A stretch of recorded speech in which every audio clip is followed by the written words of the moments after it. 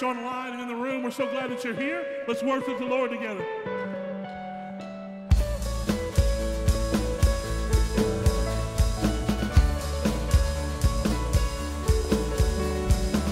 Who breaks the power of sin and darkness? Whose love is mighty and so much stronger? The King of glory, the King above all kings. Who shakes the whole earth with holy thunder?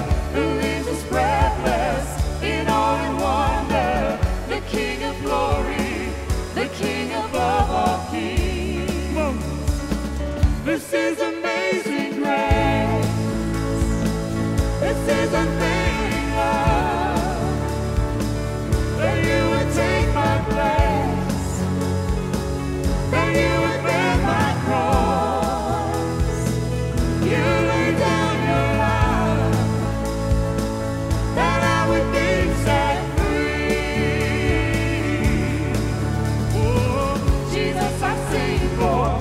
all that you've done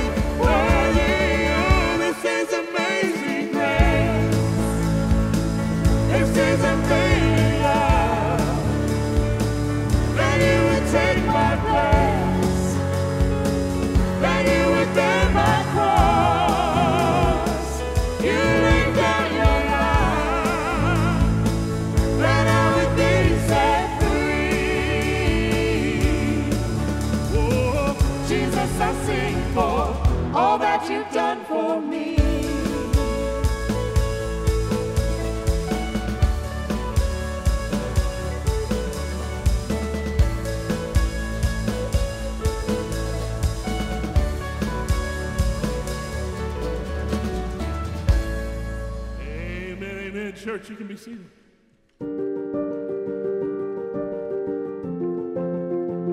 We all lead busy lives, but if we could just stop everything and take a bird's eye view, a little higher, there, now we can see the multitudes. We are fueled by a shared vision to bring the name of Christ to those who have yet to hear. So we move forward to extreme places, corners of the world that have no access to the gospel. We train missionaries, send them out together, and pray that God's grace be known. We help the hurting, comfort the dying, give hope to the displaced, and have seen thousands come to faith in Christ. We are able to do so much more together than if we were chasing this vision alone. This is our common effort. Together. You can give in all the ways we have set up online, in the mail, or in an envelope. Make sure to note Lottie Moon on your check or giving envelope.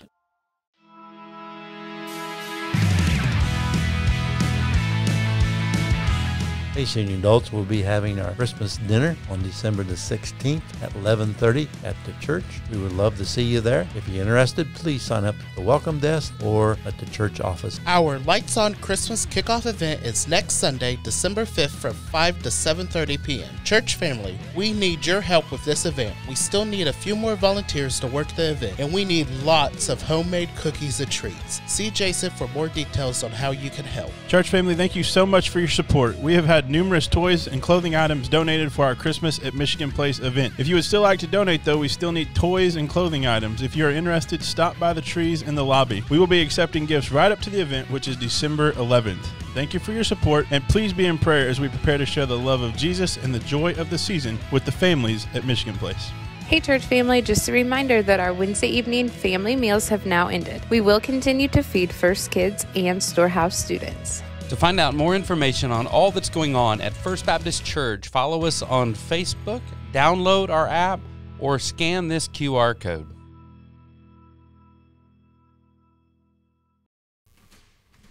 Well, good morning, church online and in the, in the room. We're so glad that you are here. My name is Jason Taylor. I'm the worship and student pastor here at the church. And as you heard on the video, uh, we do need some help with our big event next week, Lights On. Uh, we still have several spots uh, that we need to fill. I say several spots. We have a few spots that we need to fill. We have several projects during this week to get ready.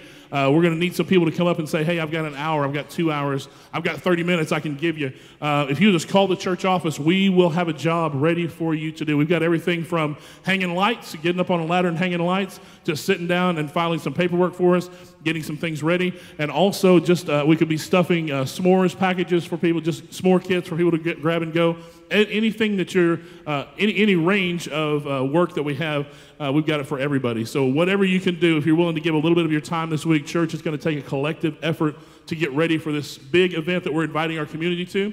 We're looking forward to having families uh, on our campus next week who maybe have never set foot on a church campus, but they came out for a Christmas event. And they're going to hear the gospel, hear the nativity story uh, in a different way. Hopefully, going to hear it for the true way. Maybe for the first time, somebody hear the gospel and those seeds will be planted. So please uh, take part in that. Please uh, give your time, give, uh, give, you, give you effort on this. We, we need everybody to collectively say, hey, I'm willing to help. So just call, call the church office, text me. I already had two people from the first service uh, text me, and I know somebody else talked to one of our other staff people to say, hey, we're willing to help with whatever.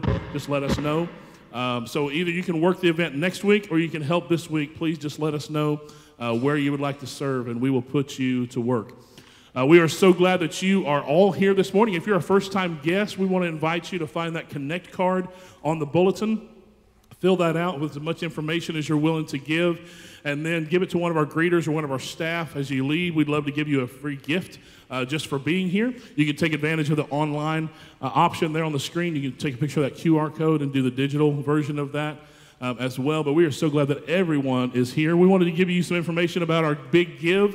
Uh, money is continuing to come in for that. Last week we reported to you that our big give from two weeks ago, we had just under $70,000 uh, come in in one day offering towards our building fund, and that was tremendous, tremendous amount. But this past week, you can see full details of these exact amounts in your bulletin if you're looking at them. But right around 63 more thousand dollars came in this week to push us well up over $120,000 given uh, towards our big give. So let's give the Lord praise on that.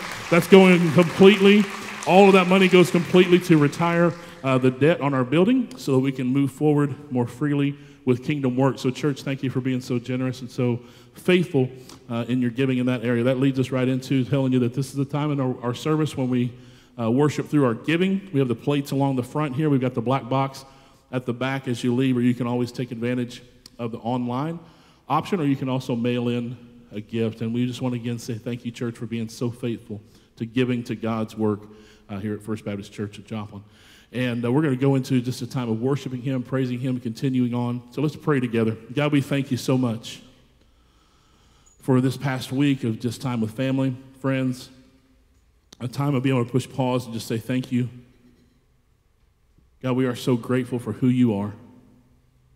God, we're so grateful for the salvation that you offer us so freely. God, we continue to worship you in this place. We continue to give you praise and honor and glory just because you're worthy.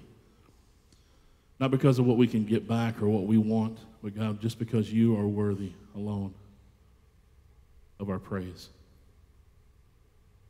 God, I pray that we're able to set aside distractions right now, focus totally on you as we worship, as we pray, as we look into your word. Let your spirit move in this place.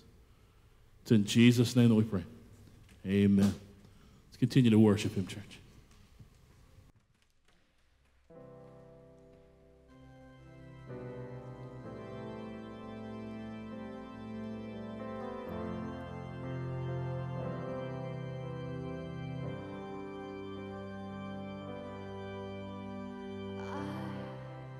was a wretch. I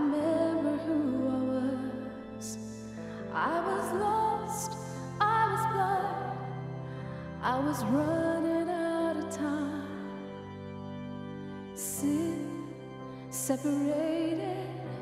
The breach was far too wide. But from the far side of the chasm, you held me in your side. So you made a way across the great divide, left behind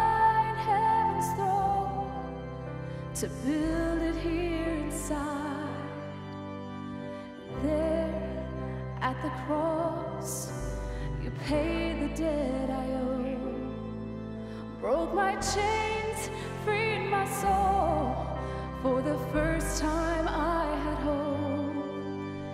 And thank you, Jesus, for the blood applied.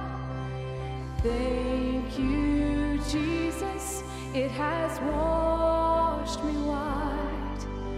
And thank you, Jesus, you have saved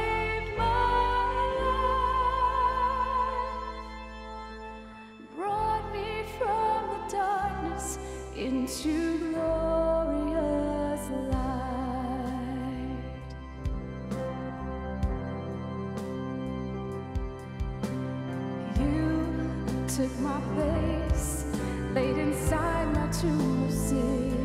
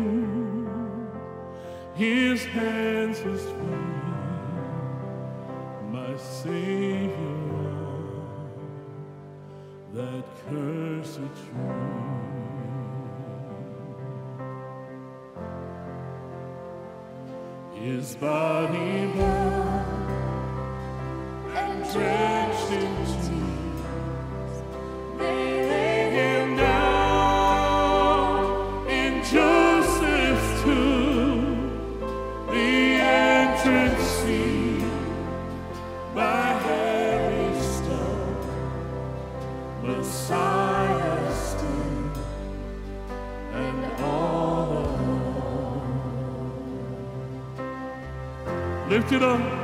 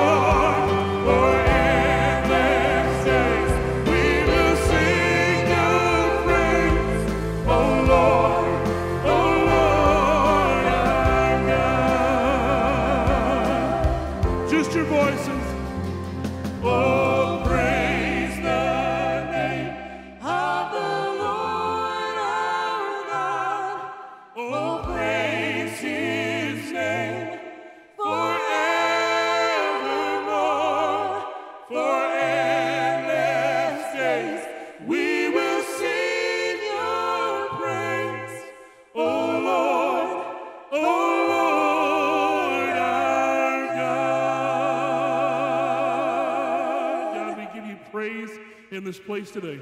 It's in Jesus' name that we pray. Amen. Amen. You can be seated, church.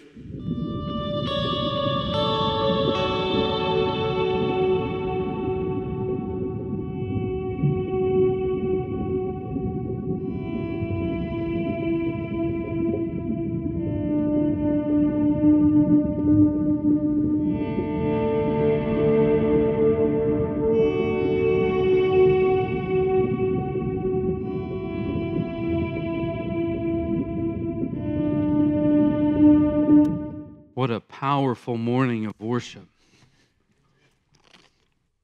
We give our praise team a hand of appreciation?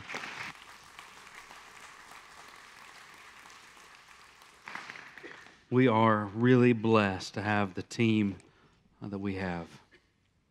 Jonah chapter 1, Decisions and Consequences, part 2. We motored through six verses last week. Some would say it was a snail's pace. We found Jonah receiving a clear, concise command by God to go to Nineveh, which was an Assyria, the Assyrian capital, 600 miles to the north and west of where Jonah was. Instead, Jonah decided he was going to go down to Joppa and found a ship going to Tarshish, which we believe was 2,500 miles the wrong direction to the west, the southern coast of Spain. Jonah was running away from the command of the Lord, ignoring it, hoping he, from his own words, could flee from the presence of the Lord. We're going to see this morning that he almost got what he was asking for or what he was wanting, but were it not for God and his great mercy this morning, please don't forget as we go through this, the book of Jonah, as we continue uh, to study it and to read it together over these next several weeks, please don't forget um, that we're looking really at Jonah through this lens of a triangle in a sense of the three main uh, players in the book of Acts or the book of Jonah. You've got uh, God, of course, at the top, who is sovereign over all things, and then you've got Jonah and you've got the Ninevites. And we get to see this story as it plays out and the tension between all three of those relationships. God tells Jonah, Arise, go to Nineveh, that great city, and cry against it. Jonah does not do it. He finds himself in the sea, paying the fare that he paid in order to go to Tarshish. So now he's in the boat, and a storm has come up on the sea. This is a horrible storm, a horrific storm. Uh, the Bible knows a lot about storms and mentions storms of direction and storms of correction in the lives of people. But here we see Jonah out of the will of God, walking in direct rebellion and disobedience. His neck and his heart are both hardened towards the Lord, and he's going further away from where God told him to go. So God brings this storm on the sea. And this storm is of such a, a, great nature that even the sailors are terrified. These, these men who make their money and that have made their living on the sea are absolutely terrified and realize there's something supernatural about this storm. So I want to pick up in verses 7 through 17. In chapter 1, it says, And they said to one another, These are the sailors, Come, let us cast lots that we may know on whose account this evil has come upon us. So they cast lots, and the lot fell to Jonah. Then they said to him, Tell us on whose account this evil has come upon us. What is your occupation? Where do you come from? What is your country? And what people are you? And he said to them, I am a Hebrew, and I fear the Lord, the God of heaven who made the sea and the dry land. Then the men were exceedingly afraid and said to him, What is this you have done? For the men knew that he was fleeing from the presence of the Lord because he had told them. Then they said to him, What shall we do to you that the sea may quiet down for us? For the sea grew more and more tempestuous. And he said to them, Pick me up and hurl me into the sea. There's the third time the word hurl is being used. Pick me up and hurl me into the sea. Then the sea will quiet down for you, for I know it is because of me that this great tempest has come upon you. Nevertheless, the men rowed hard to get back to dry land, but they could not, for the sea grew more and more tempestuous against them. Therefore, they called out to the Lord. O Lord, let us not perish for this man's life, and lay not on us innocent blood. For you, O Lord, have done as it pleased you. So they picked up Jonah and hurled him into the sea, and the sea ceased from its raging. Then the men feared the Lord exceedingly, and they offered a sacrifice to the Lord, and the Lord uh, to the Lord, and they made vows. And the Lord appointed a great fish to swallow up Jonah. And Jonah was in the belly of the fish for three days and three nights. It's interesting that Jonah here on this ship is able to sleep. Everything to this point has been Jonah going down. He left his home and went down to Joppa. He found a ship going to Tarshish and he went down into the ship. And once he got on the ship, he went down into the lowest part of the ship, into the hold, and was asleep. And there, even at the end of our text this morning, Jonah is going to find himself yet lower. It would be impossible, humanly impossible, for someone to become lower than Jonah got right here. So when it says that Jonah went down, he absolutely went down. It was not an upward way, it was a descent in more ways than one. So Jonah is asleep in the hold of the ship. All of this storm is blowing, one that is so large, it's caused the mariners, uh, the, the, the shipmates on the ship to, to, to start throwing everything overboard to lighten the load. I mean, they were so worried that they were going to die. And yet here was Jonah asleep. The captain comes and wakes Jonah up and says, Arise, O sleeper, why are you asleep? Isn't it interesting that the one who is mentioned and spoken of as a prophet of God is acting more like we would think of the recipients of a prophecy than the one delivering the prophecy? Here he is out of the will of God, living in direct rebellion and disobedience to the clear and concise command and call of God walk going further and further and further away, wanting to run from the presence of God. And yet, you have men on the ship who don't know the one true God. They are idolaters, they are pagans, they don't know Yahweh that Jonah is mentioning. And yet, they seem to act more spiritual than the prophet. They are the ones that are calling out to God in the middle of the storm while the prophet slept. While, while they are concerned about Jonah's life. Even when Jonah says, Throw me over, nevertheless, they tried to row the boat to shore. They didn't want to throw Jonah over. In fact, they only do it reluctantly, it seems. They're praying that God would forgive them for what they're doing. The ones who did not know God are acting more like a God-fearer than the one who should have been.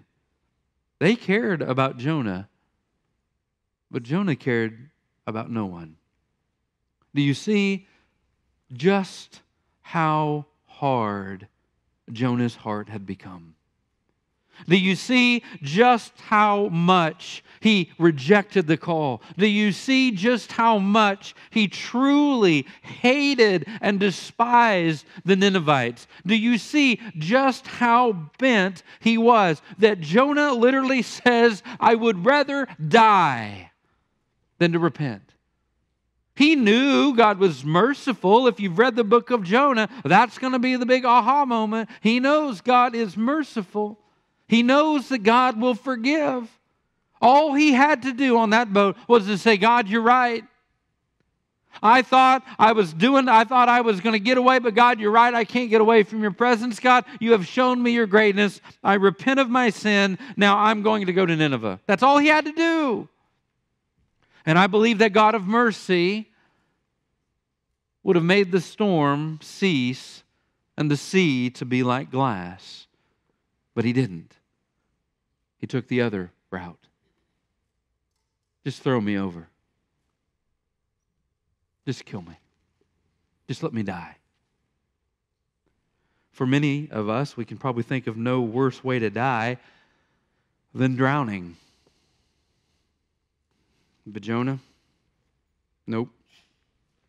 Just throw me out. It's important to notice that all of the men on the ship when they were referring to God, were using a generic term as though a God among other gods. But when Jonah is pressed and asked all the questions about who he is and where he's from and what people he is, he says, I am a Hebrew in verse 9, and I fear the Lord, Yahweh, the God of heaven who made the sea and dry land. Jonah uses the covenant name of God with the mariners. And every time Jonah mentions God, he uses the name Yahweh. Later, after the storm ceases, whenever the mariners, after Jonah mentions it, every time the mariners speak of the name of God, they use Yahweh. The ones who did not originally believe were able to believe despite Jonah's disobedience. You know what's crazy about the book of Jonah? Is when we consider that triangle with the sovereign God at the top, the rebellious prophet to the side, and the wicked Ninevites over to the other side. What we find is that God was always 10 steps ahead of Jonah, and he let Jonah know it. All every step of the way, Jonah wanted to die. Jonah couldn't even die. And the Lord appointed a great fish to swallow up Jonah. And Jonah was in the belly of the fish for three days and three nights. Here it is. This is the dramatic climax. This is the moment that the entire story changes. He goes in the belly of the fish, stiff necked, not going to turn, hating the Ninevites, refusing to do what God wants. And God appoints a giant fish to swallow him.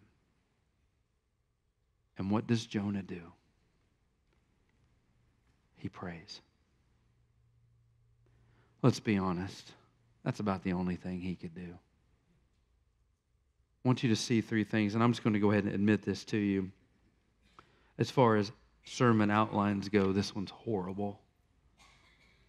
But I have settled myself this morning with the reminder that God is more concerned with the outworking of His Word than the outlining of His Word. So I hope this morning, whether this is pretty or not, pray that God would have His way. I want you to consider this. Look at this prayer, chapter 2, verse 1. Then Jonah prayed to the Lord his God from the belly of the fish. Listen to this prayer. When you hear this prayer, when your eyes see these words, do not think of this prayer as me up here reading it. Think of this prayer as the man, think of the condition and the situation that he was in when he prayed it, okay? Verse 2 I called out to the Lord out of my distress, and he answered me. Out of the belly of Sheol or the grave, I cried, and you heard my voice. For you cast me into the deep, into the heart of the seas, and your floods surrounded me. All your waves and your billows passed over me. Then I said, I am driven away from your sight, yet I shall again look upon your holy temple. The waters closed in over me to take my life. The deep surrounded me. Weeds were wrapped around my head. At the roots of the mountains, I went down to the land whose bars closed around upon me forever. Yet you brought up my life from the pit, O Lord my God.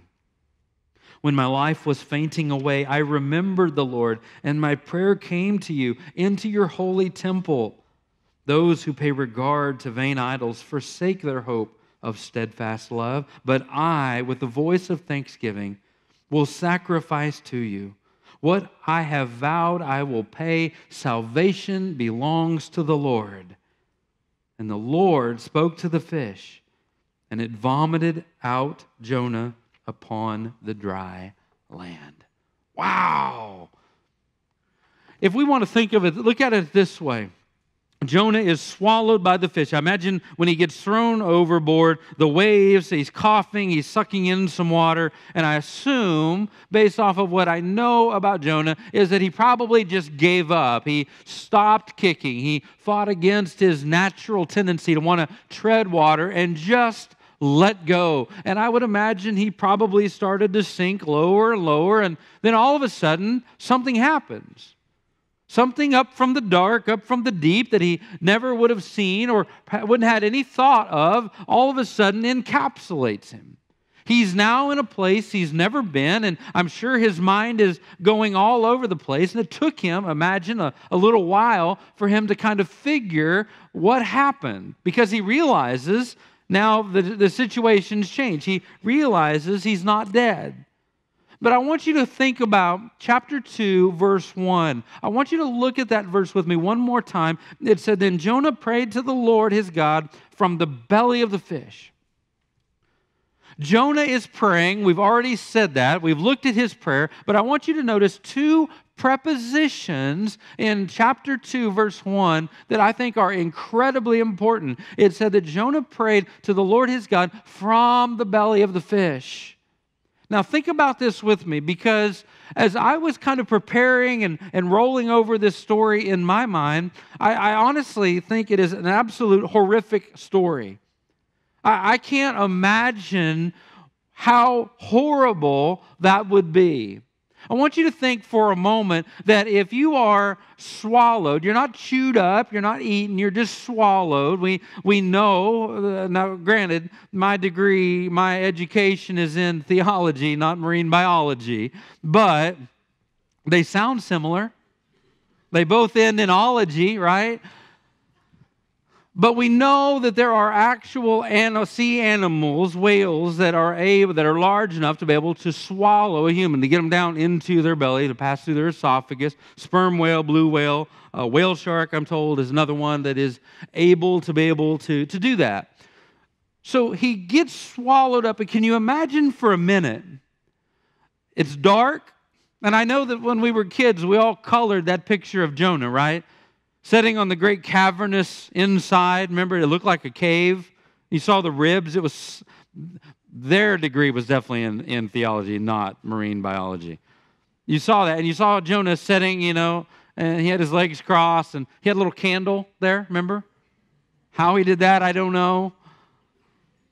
And he was like this Get that image out of your head. Because I would imagine what happened was he was more than likely just squeezed in the heart of an animal that would have been extremely hot, incredibly uncomfortable, and insanely smelly. I can't, I can't imagine.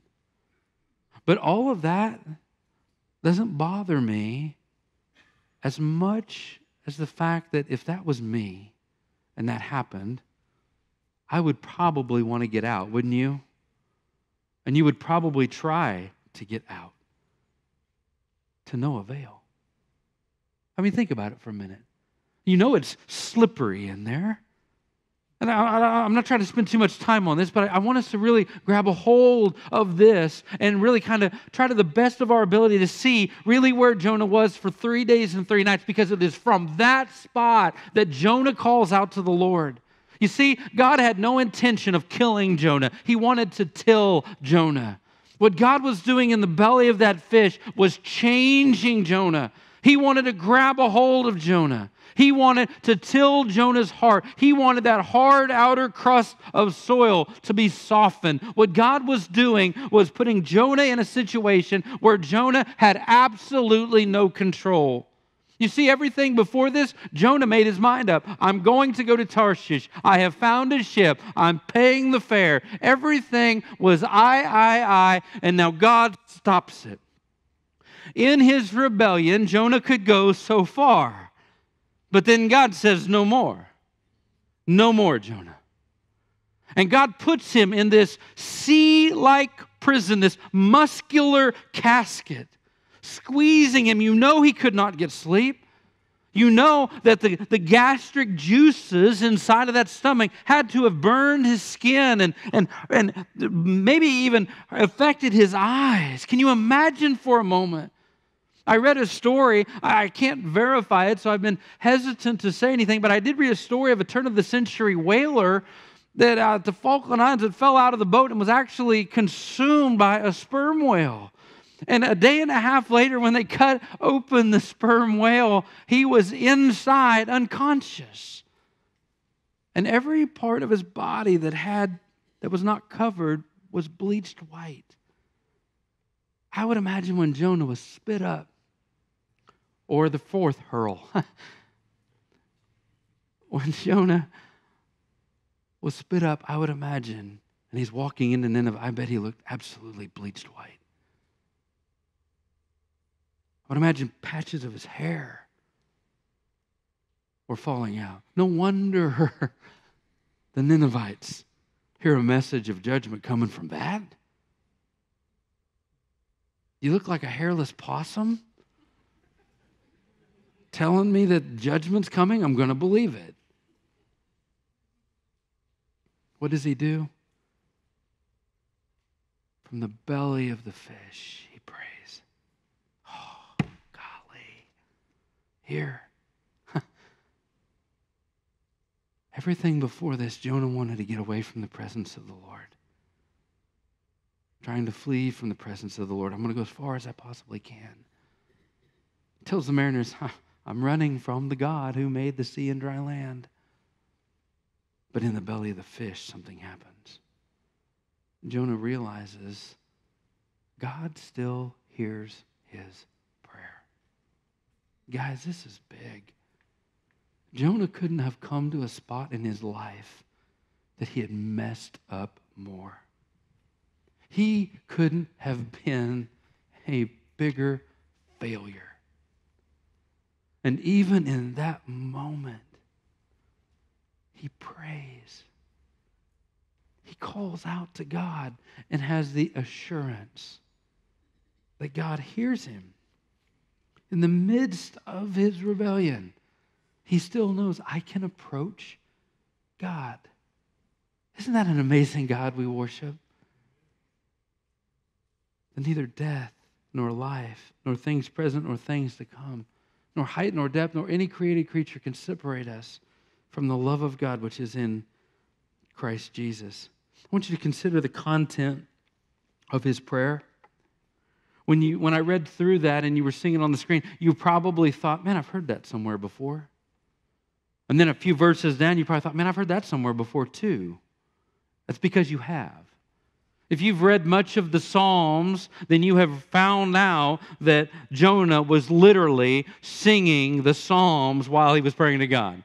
He has ripped these words of his prayer from what he knew about God as revealed through the Psalms. For those of you that have a cross reference Bible, what that means is as you read through the scriptures, there's going to be a little letter that's going to be by certain parts of your verses. When you find those little letters, go down to the bottom or in the middle of your Bible and find that little verse that's attached to that because that's connecting those verses together. It's called a cross reference. So when you find those, go back and read those because what you're going to find is that Psalm 3, 5, 18, 31, 42, 69, 77, 116, 120, and 132 in your hymn books are all being used in that prayer. Let me say it one more time Psalm 3, 5, 18, 31, 42, 69, 77,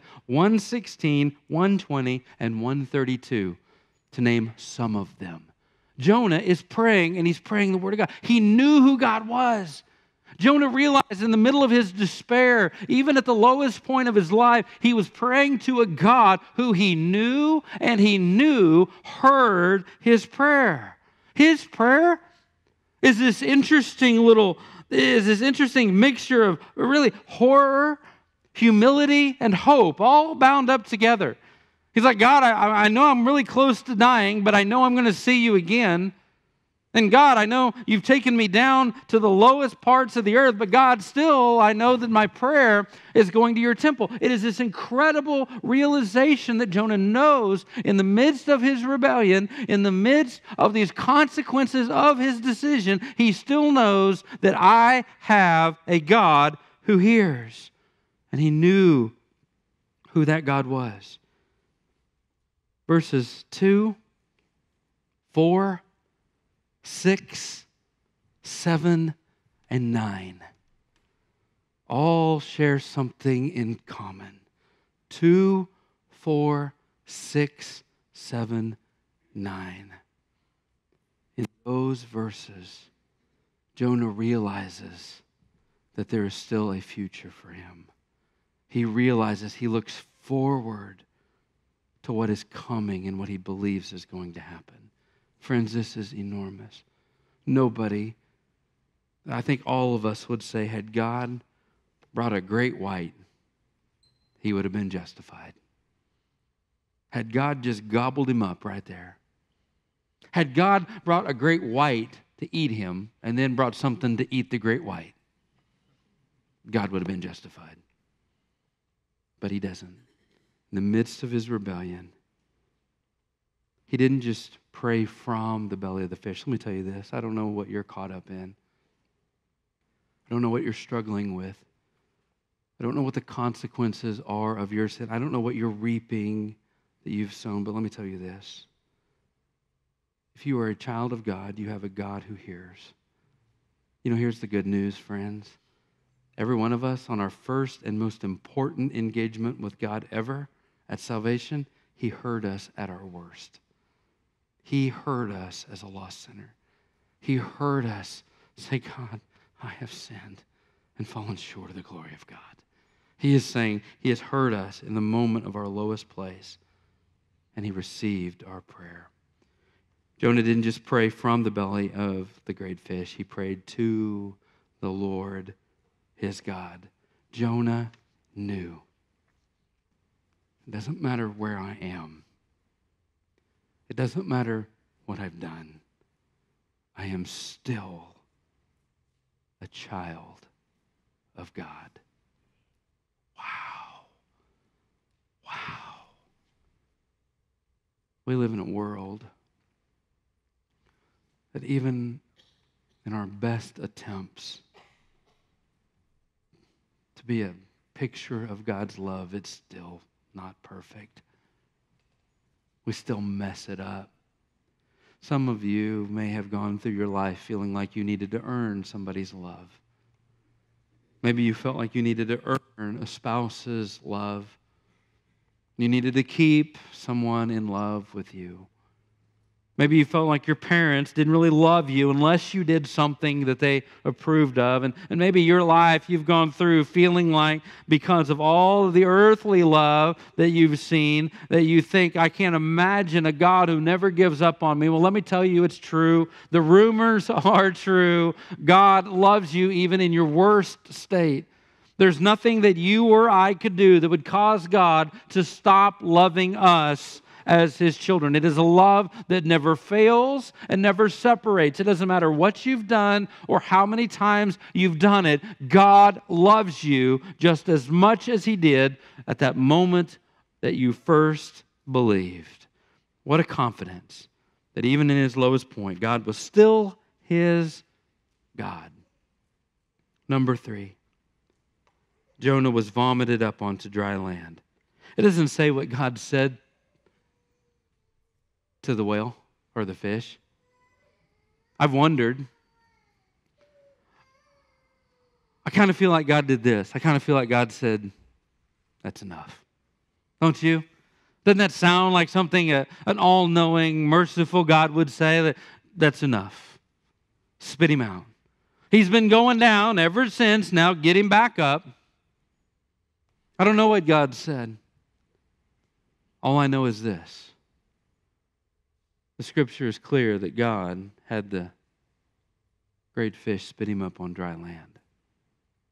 A couple things that are important here. I think we have to realize that where they were going, that when by the time that the great fish swallowed Jonah, God was already in the process of transporting Jonah where he wanted him to be.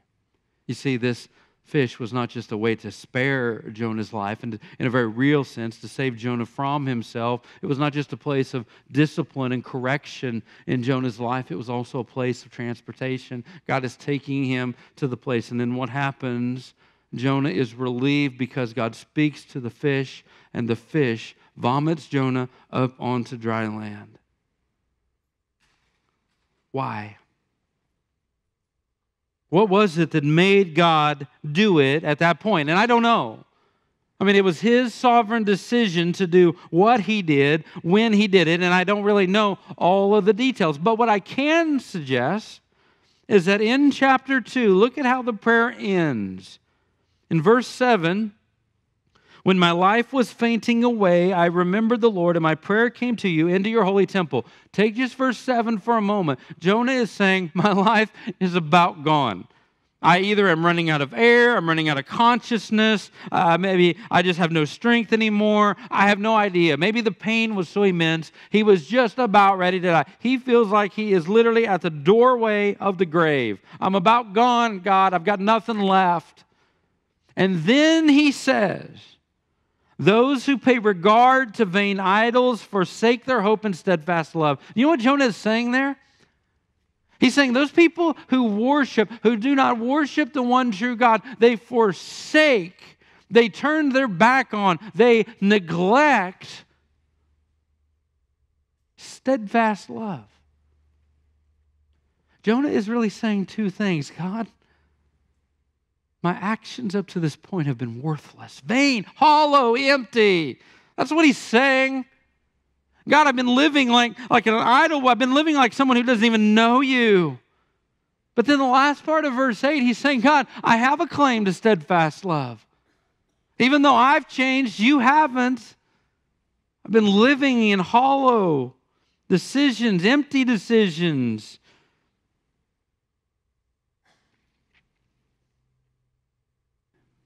And then verse 9, but I, with the voice of thanksgiving, will sacrifice to you.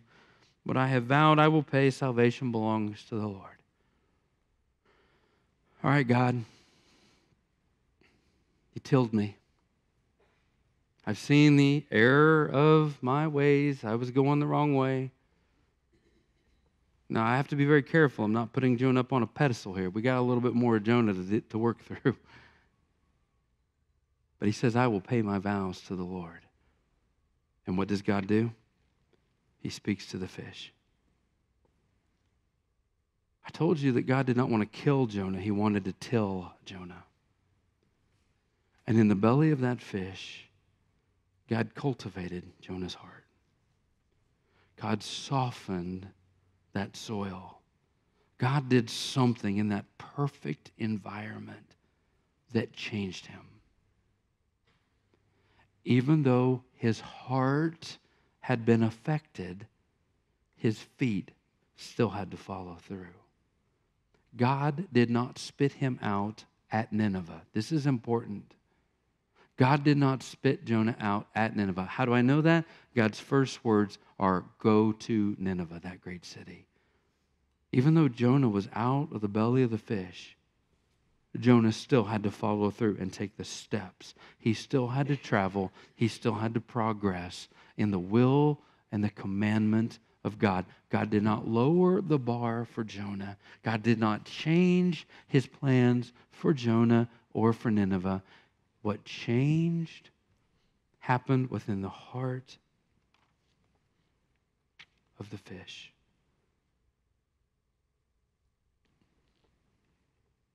Some here, we may be hearing this And we may be thinking, how does this story, 750 years before Christ, how does this fish story, 750 years before Christ, relate to me? Listen, it's not hard for us to take little steps away from the Lord, and before long, we're traveling further and further from the Lord. Maybe right now, maybe in your heart, in the private spots of your heart, in a spot where nobody else knows, if you were honest, you might say that you're bound up. You might say that your life is a mess.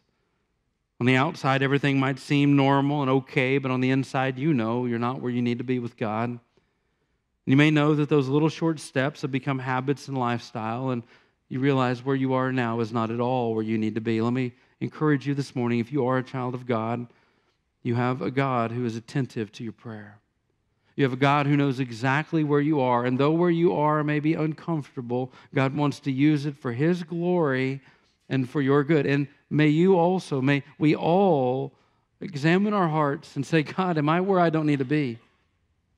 Is my life wrapped up in sin? Is, is, is, are there besetting sins or habits or addictions? Is it lust or greed or envy or jealousy or anger or bitterness that has wrapped me up? And God, I find myself out of your will. Could you say to God this morning, God, I'm sorry? Could you follow Jonah's lead? God, I got myself into this mess, but I trust that you are good and you've not given up your plans for me and that you still have a purpose. Psalm 118, verse 5, if that's you, if that's you. Psalm 118, verse 5 says this Out of my distress, I called to the Lord. The Lord answered me and set me free. When He sets you free, will you walk in obedience to Him? One step, one small step in front of the other to bring Him glory and honor. Father, thank you that you remind us this morning that there is not a place we can go that you cannot hear us cry. Father, there's not a there's not a depth we can go to that your mercy is still not greater. Even Jonah, in the midst of his rebellion, cried out to you. Father, there may be some this morning that are in rebellion. There may be some in here whose lives are affected by those who are in rebellion. There may be parents whose children are in rebellion. There may be grandparents whose grandkids are in rebellion. And God, I pray this morning that we would remember that you hear our prayers, that you can be touched and gripped with what your children are going through. And Father, I pray for each that have found themselves in depths low, that they would hear they would hear you speak and free them to walk in obedience to you. Father, help our feet follow where our heart has committed. We pray, Father, for those that are not saved they would come to know and trust this great God as their personal Lord and Savior through Jesus Christ. For those that are saved, Father, I pray that we would further commit ourselves to you and your plan for us. In Jesus' name we pray. Amen. Thanks for joining us for service this morning. If you made any decisions or would like to talk to someone, please contact the church office. We look forward to meeting you in person.